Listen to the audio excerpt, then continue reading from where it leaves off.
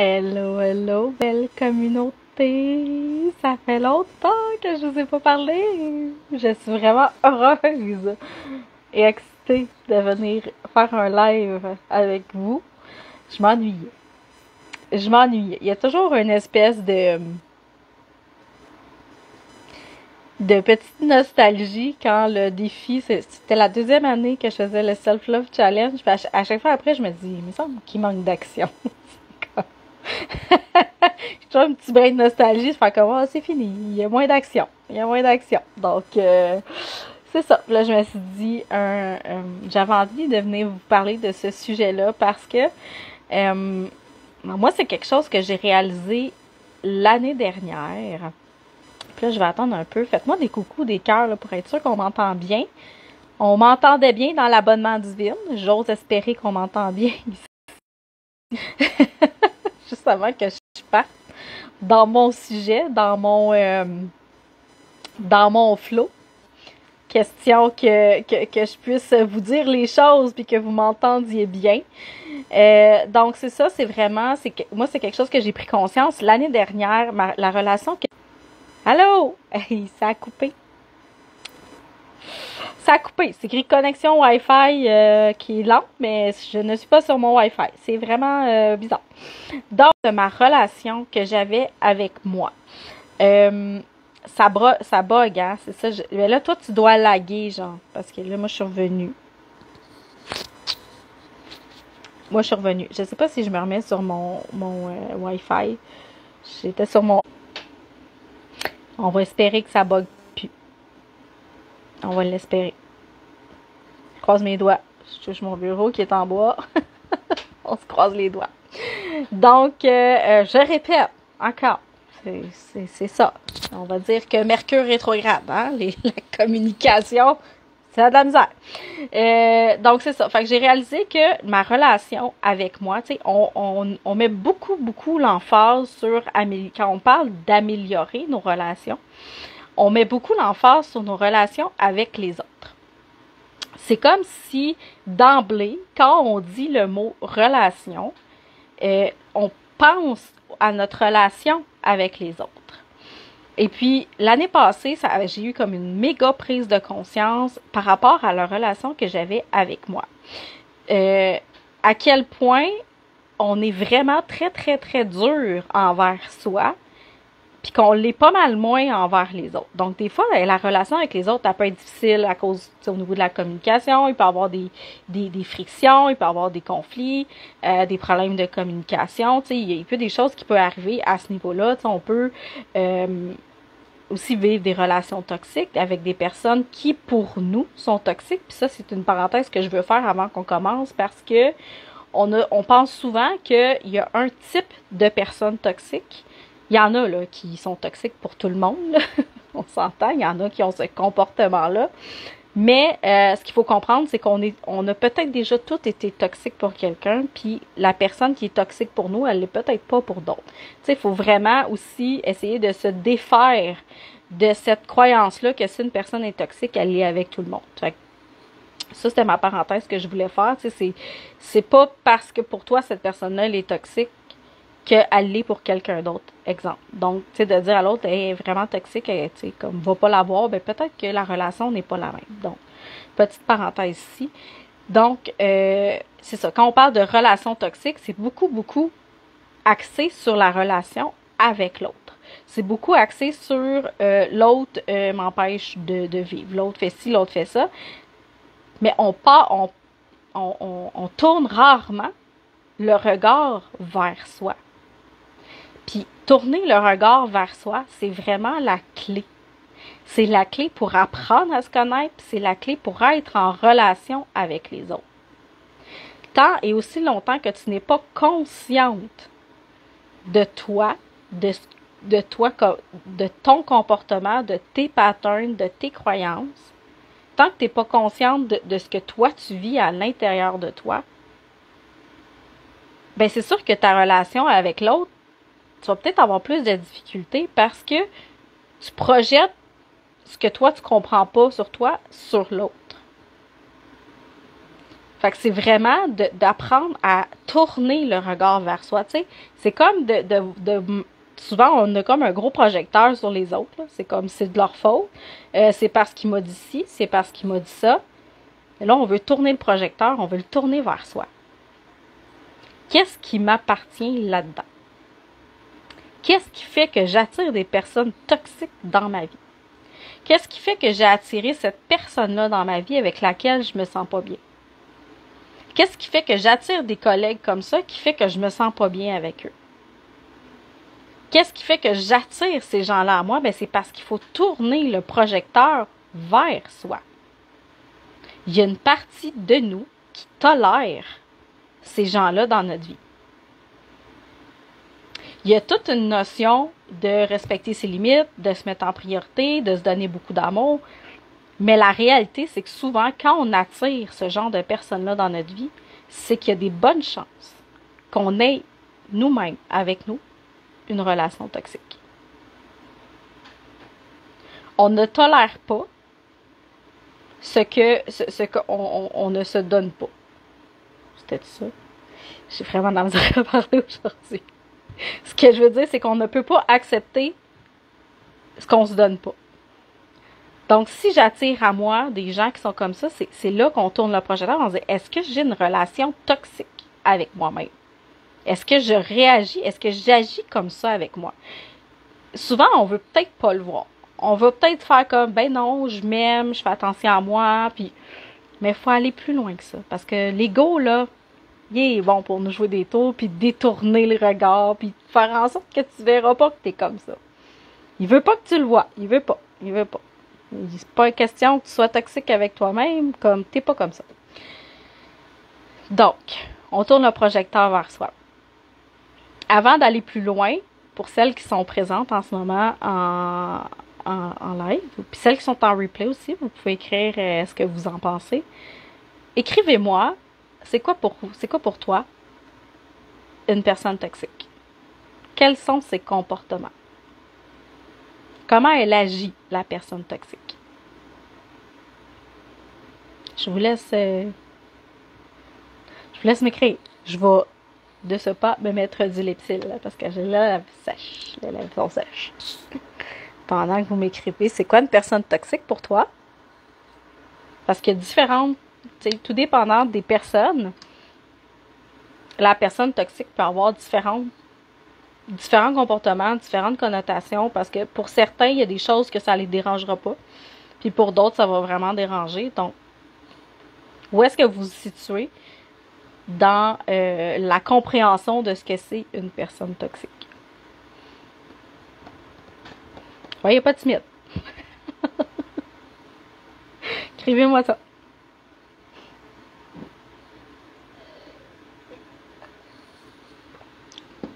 Est-ce que pendant que je reçois vos réponses, est-ce que vous avez déjà, dans votre entourage, eu des personnes toxiques? Est-ce que vous avez déjà été en couple avec des personnes toxiques? Est-ce que vous avez déjà eu des relations d'amitié avec des personnes toxiques? Est-ce que vous avez déjà eu euh, des, des, dans vos familles euh, des, des, des, des, personnes dans vos familles qui, que vous avez jugé d'être toxiques envers vous. Donc, euh, c'est une personne qui est négative, OK? C'est bon. Allô, Elisabeth? Je suis contente de te voir. Ça, ça fait longtemps. oh, c'est une grosse question. Quelqu'un qui draine mon énergie, je dirais, entre autres, qui n'est pas honnête et vrai. OK. Donc, on voit, tu sais, négatif, quelqu'un qui draine ton énergie, qui pas honnête. Allô, allô. Euh, donc, tu sais, vraiment, oui, la personne toxique va drainer notre énergie. Elle va nous fatiguer parce que, euh, dans le fond, c'est souvent la personne toxique est un petit peu manipulatrice, puis elle va vouloir comme avoir notre énergie pour la garder pour elle. Les personnes toxiques sont aussi un peu manipulateurs, sont, sont ou manipulatrices, tout dépendant. Euh, dans leur façon de, parler. C'est des gens qui vont beaucoup culpabiliser les autres. Euh, ce qui veut dire qu'ils vont faire en sorte que tu te sentes coupable euh, pour mieux répondre à leurs besoins. Fait que ça draine de l'énergie, ça, quand tu te fais toujours, tu sais, mettons quelqu'un qui est tout le temps négatif, euh, quelqu'un qui est pas honnête, quelqu'un qui avouera pas ses torts, que ça va toujours être la faute des autres, ben c'est quelqu'un, justement, là, ce que je suis en train de dire, qui a besoin de mettre le projecteur vers lui. On s'entend. Donc, à ce niveau-là. Donc, négative, quelqu'un qui est pas honnête, quelqu'un qui est pas vrai. Une personne qui se détruit en n'étant pas fine avec les autres. OK. Donc, quelqu'un qui est pas fin avec les autres. C'est bon. C'est bon. Donc là, si je prends vos réponses, euh, est-ce que Elisabeth, des fois, tu es négative avec toi? Est-ce que euh, Isa, ça t'arrive de ne pas être honnête avec toi et vrai? Est-ce que Sylvie, ça t'arrive d'être pas fine avec toi? Donc vraiment juste de prendre conscience de ça. Tranquillement, pas vite. Là, on tourne le projecteur. Là, il n'y a, pas, a pas de fuite à soir. Là. on fuit pas le projecteur, on se regarde, on prend conscience de ce qu'il y a à l'intérieur de nous. C'est important d'en prendre conscience parce que tant qu'on n'est pas conscient de ce qui est là en nous, on ne peut pas le transformer. Fait que oui, des fois, le projecteur, ça peut faire mal, ça peut faire peur parce que là, on se voit sous notre plus beau jour. Mais tant qu'on on, ne voit pas ce qui est là, on ne peut pas le transformer.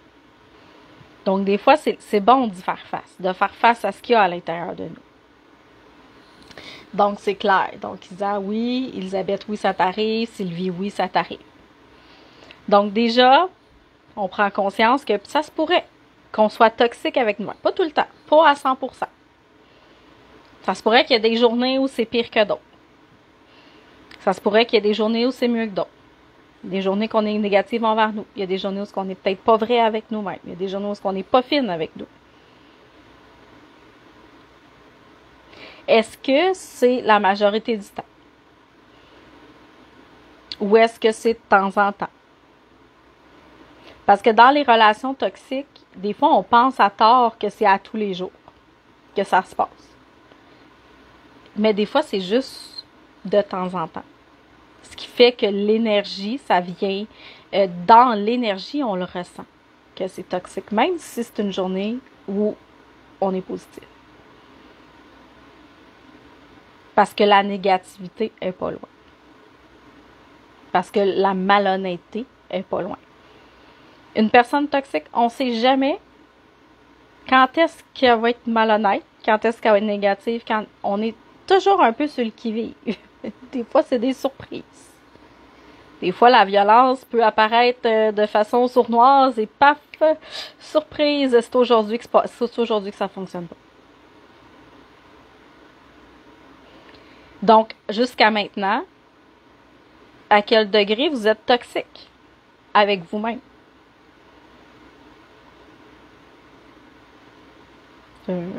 3 sur 10, 4 sur 10, 5 sur 10, 10 sur 10. C'est toxique 10 sur 10.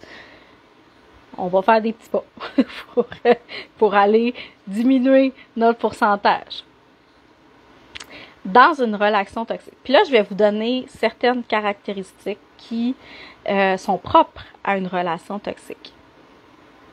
Puis essayez de voir. Mettez le projecteur vers vous, là. On veut vous voir. C'est toi qu'on parle en soir. Dans des relations toxiques, il y a énormément de dévalorisation. C'est des gens qui vont dévaloriser les autres. Un peu comme Sylvie disait en étant pas fin avec les autres. Est-ce que tu te dévalorises? Est-ce que tu te critiques?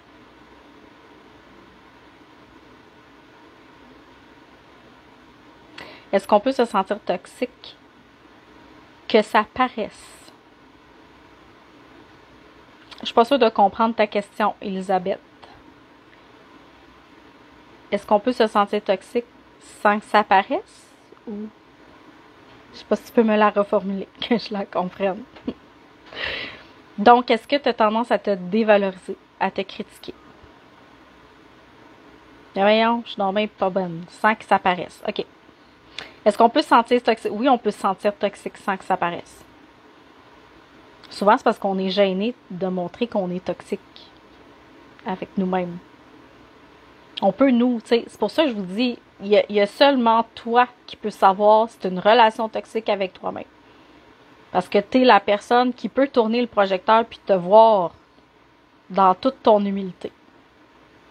Parce que même moi, si je te vois, même moi, si je te pose des questions, tu les clientes que j'ai que, que j'ai en coaching, one-on-one, je suis là avec la personne toute seule, mais la personne, je sais pas, moi, c'est honnête avec moi. Je sais pas si elle me dit tout ce qu'il y a à l'intérieur. Fait que t'es la seule personne qui peut voir ça, qui peut voir cette relation-là que tu as avec toi. Donc, si tu dis que tu te sens toxique, ça se peut. Même si ça paraît pas. Donc, qui ici se critique? Qui ici se dévalorise? Qui ici dit j'aurais donc dû être meilleur que ça? Je suis donc bien niaiseuse. Je suis donc bien conne d'avoir pensé comme ça. Je suis donc bien paresseuse. Je suis donc bien sale. J'ai pas fait mon ménage. Je suis donc bien crottée. Arc.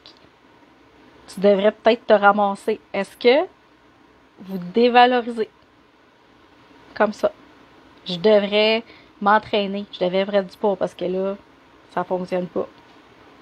Est-ce que vous êtes en train de vous dévaloriser, de critiquer? Est-ce que vous vous insultez? Moi, c'est une caractéristique d'une relation toxique.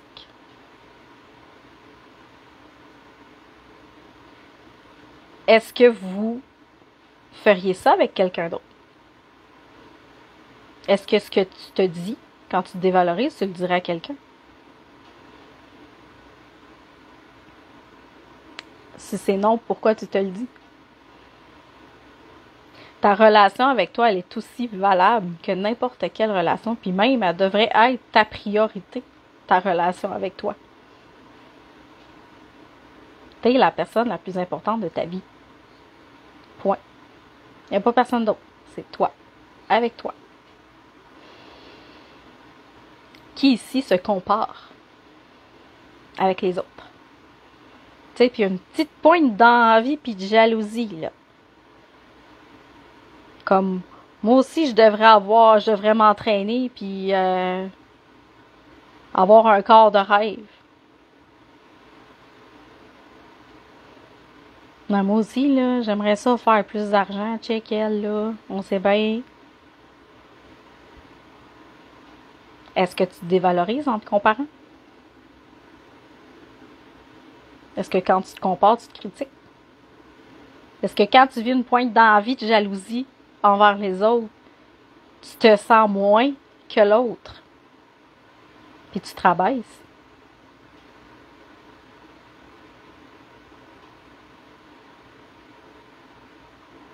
Est-ce que tu ferais ça avec les autres?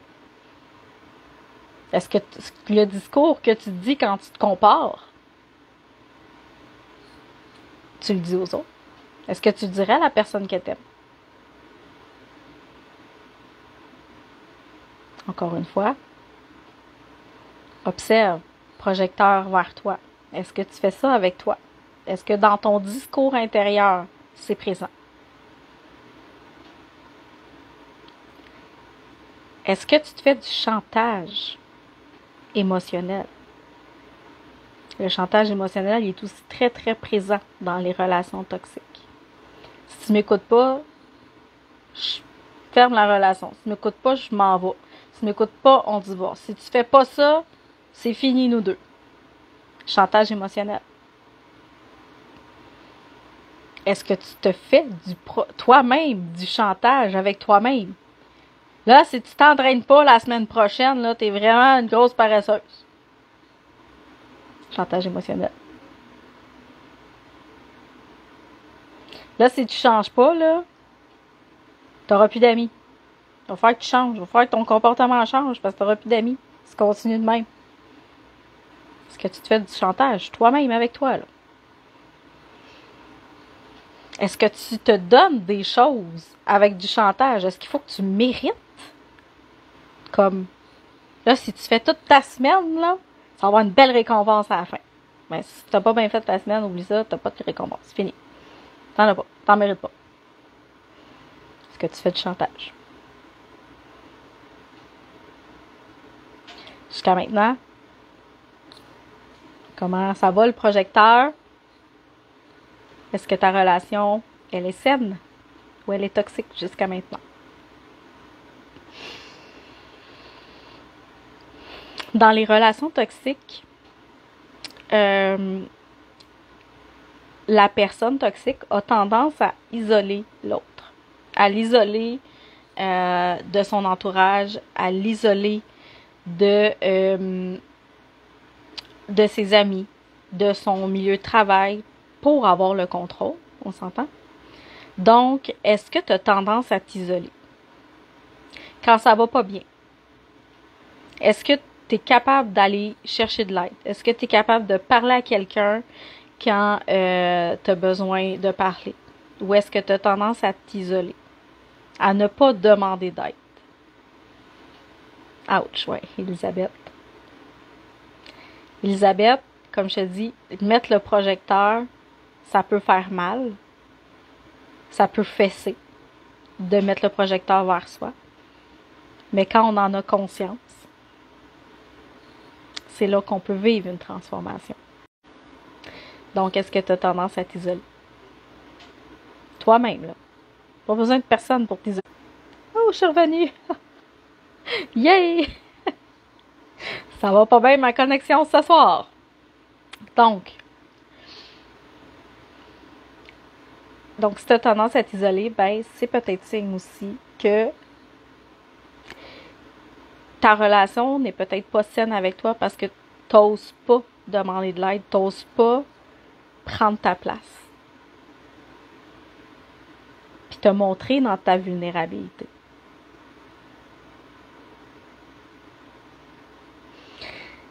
un autre point. Mais ce point-là, il va, il va un peu avec la dévalorisation. Euh, est-ce que tu as tendance à te dire des paroles blessantes? Un peu comme tantôt, quand je disais t'es donc bien t'es donc bien niaiseuse. Est-ce que tu te dis des paroles blessantes? Que ce soit sur ton physique, que ce soit sur tes compétences au travail, que ce soit sur l'éducation de tes enfants, si as, bien sûr, que ce soit euh, dans, dans, tes tâches ménagères, que ce soit dans tout ce que tu peux faire, est-ce que tu as tendance à avoir des paroles blessantes envers toi?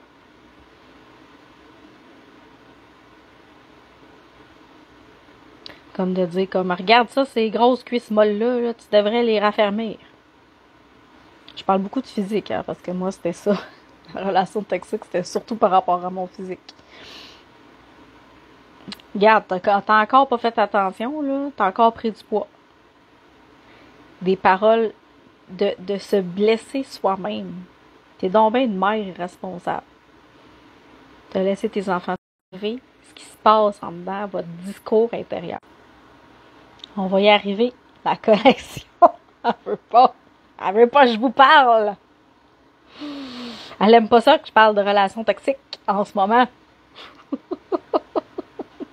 On a une grosse relation toxique.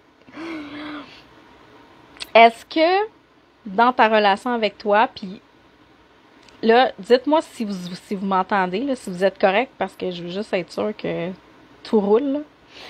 Euh, je vais continuer, mais juste pour être sûre. Euh, est-ce que tu es exigeante envers toi? Est-ce que tu t'exiges de faire des choses que ça ne tente pas de faire? Parce qu'il faut que tu le fasses? Dans une relation toxique, les gens sont très, très exigeants. Puis ils doivent être ce que l'autre veut qu'ils soient. Est-ce que tu t'exiges d'être quelqu'un que tu n'es pas? Est-ce que tu t'exiges de faire des choses qui ne te conviennent pas? Est-ce que tu es exigeante avec toi?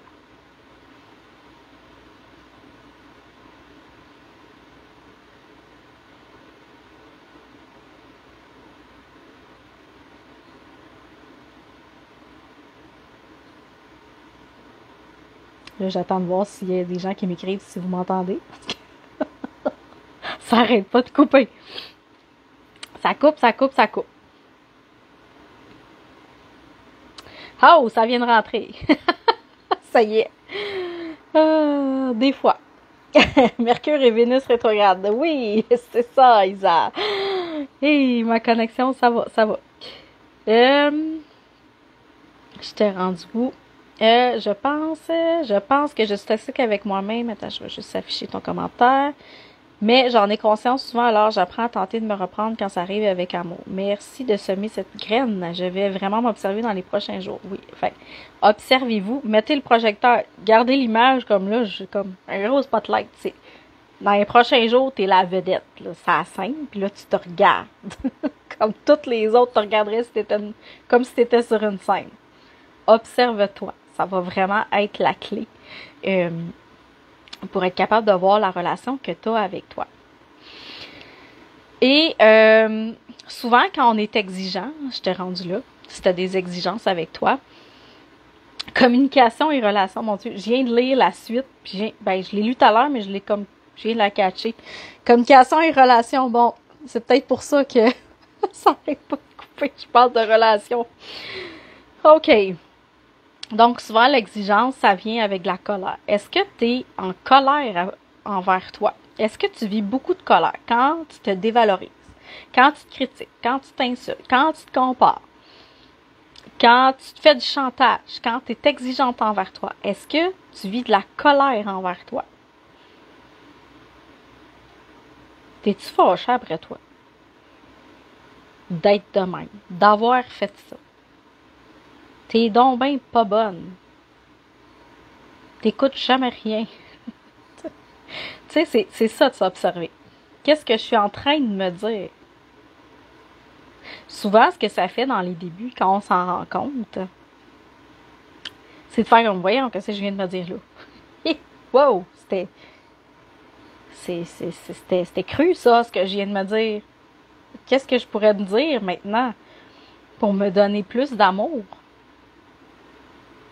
Ce qu'on a envie, c'est pas d'être toxique avec soi-même.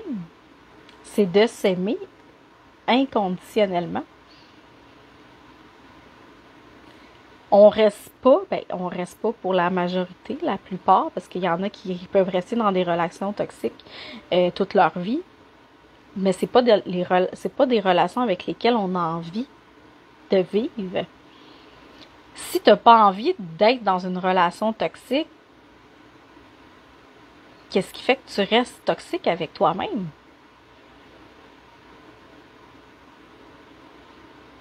Qu'est-ce qui fait que tu tolères ça? Parce que c'est toi qui le fais? Parce que c'est sûr que tu peux pas te sauver de toi-même. Hein?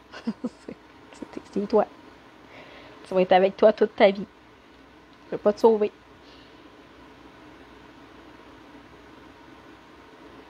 Fait que au début, je vous demandais si vous avez des personnes toxiques dans votre entourage en ce moment, ça te donne encore plus une raison de t'observer. Parce qu'il y a des fortes chances que si tu acceptes la toxicité d'une personne, c'est que tu sois avec toi. On ne s'accepte pas comme on est. Voilà. On veut donc changer. On veut donc être parfaite selon notre idéal qu'on s'est. Mon idéal, moi, est, est patiente, là. C'est patiente, mon idéal.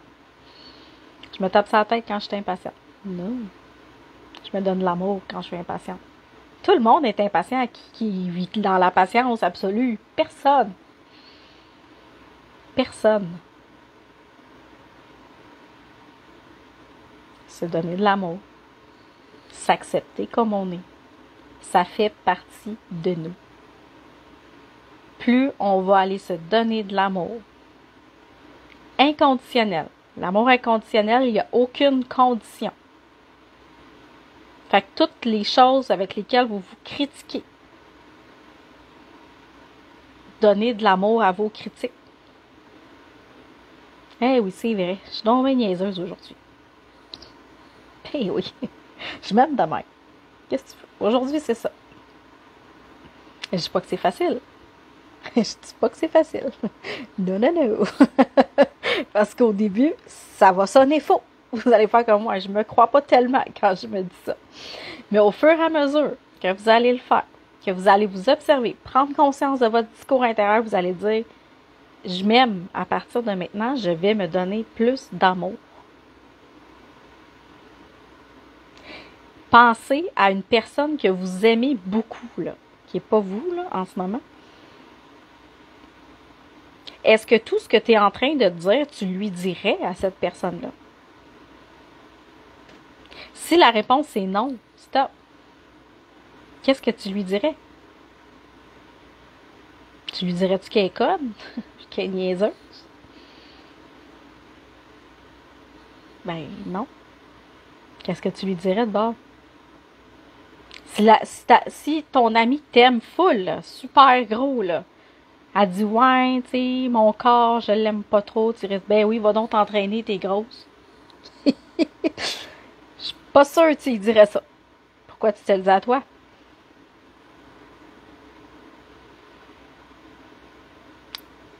Prenez conscience de votre discours intérieur. Tout part de soi. Plus tu vas améliorer ta relation avec toi, avec toi-même, plus que tu vas attirer, c'est des relations saines. On attire à nous tout ce qu'on vibre à l'intérieur. Si tu vibres la toxicité, la critique, la dévalorisation, le manque d'estime, c'est les relations que tu vas attirer dans ta vie. Parce que c'est ça qui vibre en de toi. On, on la base du triangle, je sais pas, j'ai-tu encore mon triangle? les filles. Oh oui, il est encore là. En tout cas, les filles qui étaient dans la vitamine D puis dans l'Antarctique vont dire encore son triangle rose. il est là mon triangle rose. Ici, mon beau triangle. La base, c'est soi. Si ta relation à la base, elle est saine avec toi, ce que tu vas donner aux autres, c'est une relation saine, c'est des compliments, c'est de l'amour. Puis ce que tu vas recevoir en retour, c'est des relations saines, c'est de l'amour, c'est des compliments. Parce que c'est ce que tu vas vibrer, c'est ce que tu vas émettre, c'est ce que tu vas donner.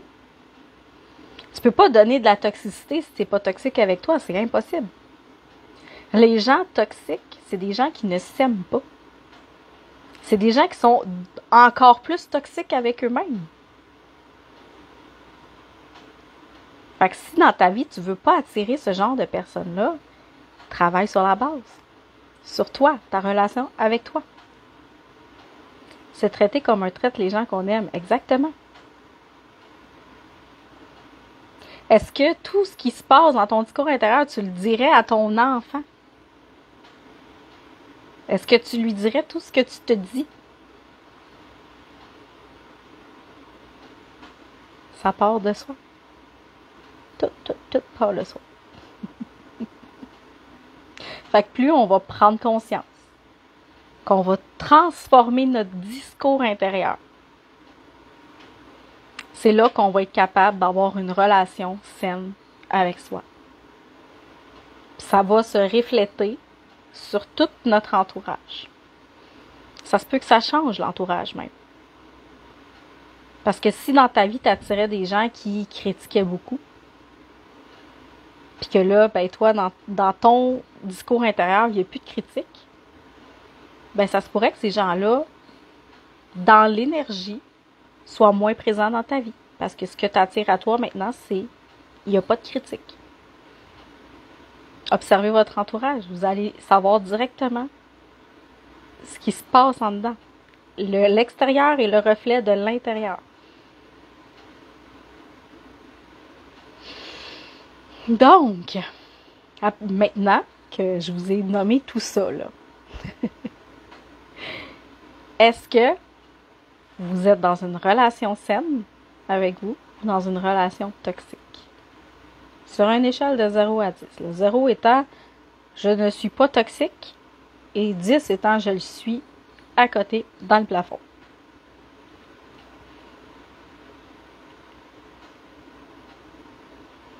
C'est quoi vos, vos petites échelles? Là?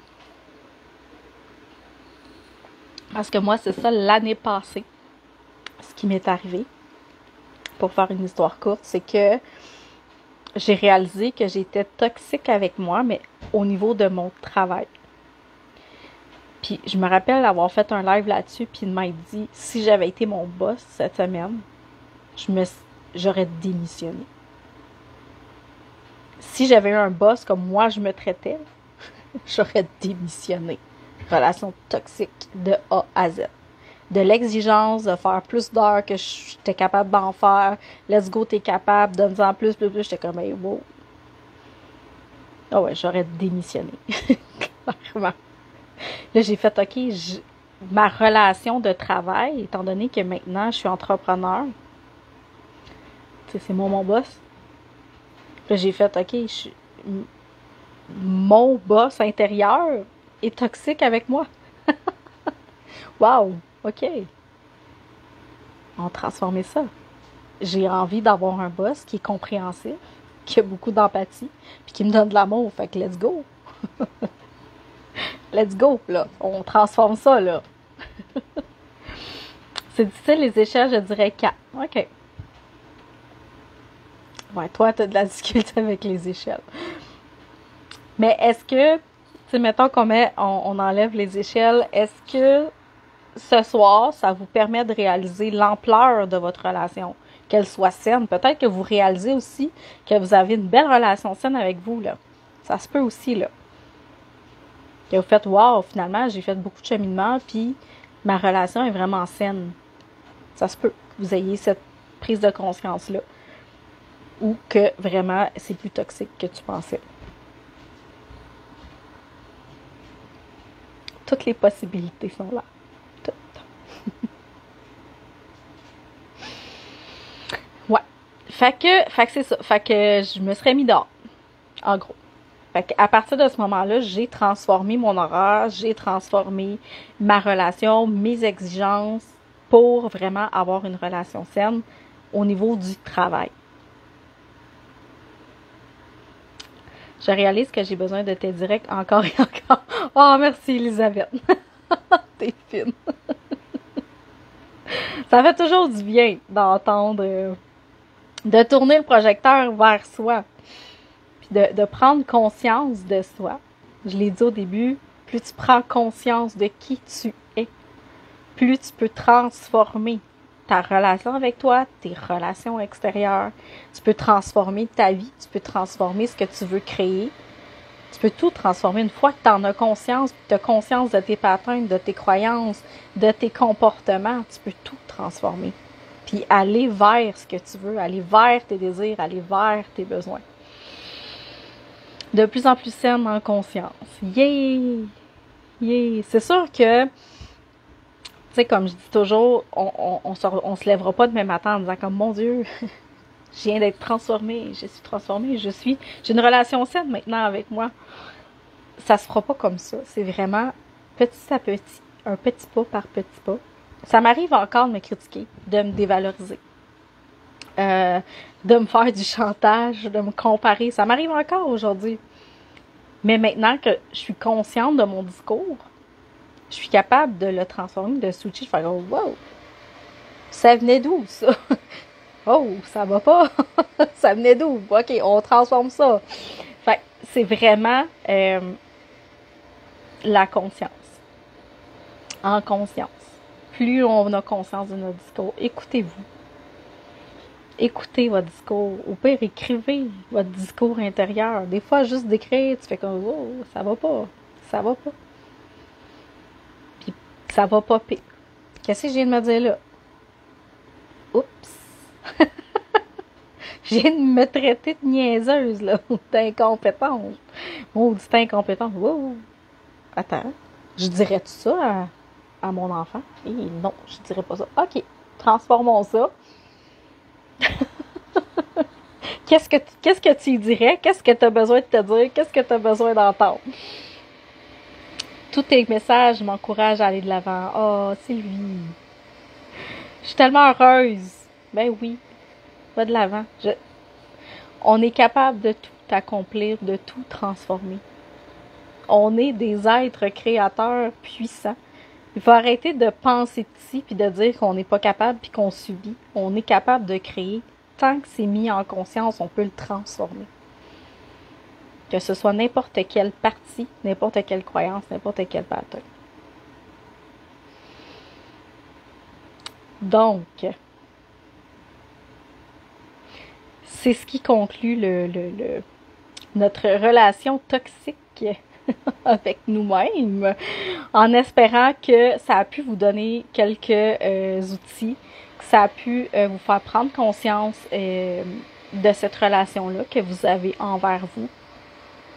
Puis je vous invite, si vous voulez aller de l'avant, si vous voulez transformer la relation de toxique de toxique à saine, si vous avez envie de vous donner plus d'amour, c'est quelque chose qui vous tente, là. Vraiment, ça vous tente. Dans l'abonnement divine en février, on parle d'amour, estime et image de soi. On va aller travailler ces trois sphères-là. Il y a une différence entre les trois. Puis c'est là-dessus qu'on va mettre l'emphase pour améliorer notre relation avec soi. Ça, ça va être vraiment un beau, beau, beau cadeau. Parce que dans l'abonnement divine, on a une mission par semaine pour travailler ça. Il y a une classe d'une heure dans laquelle je vais vous parler de la différence entre les trois. Euh, puis comment distinguer les trois, puis comment améliorer notre image, notre estime, puis notre amour de soi. On va vivre aussi un rituel lunaire dans lequel on va faire un pardon de soi, aller se pardonner certaines choses. Puis on a aussi une super invitée divine qui va venir nous parler. Un sujet fort intéressant qui, moi, ça, ça m'a marqué. Ça m'a marqué. Je vous en dis pas plus, mais c'est quelque chose de super intéressant. Il y a une invitée divine euh, maintenant à tous les mois dans l'abonnement divine. Puis vous allez aussi avoir une méditation par rapport aussi à l'amour de soi. Puis ça, sera une méditation sous forme de méditation activation qui va te permettre de te mettre dans une énergie d'amour de soi, d'estime de soi, puis d'avoir une excellente image de soi. Donc, c'est tu as accès à tout ça dans l'abonnement divine. C'est 66 dollars par mois parce qu'on s'abonne à l'abonnement. C'est un abonnement, ça revient tous les mois.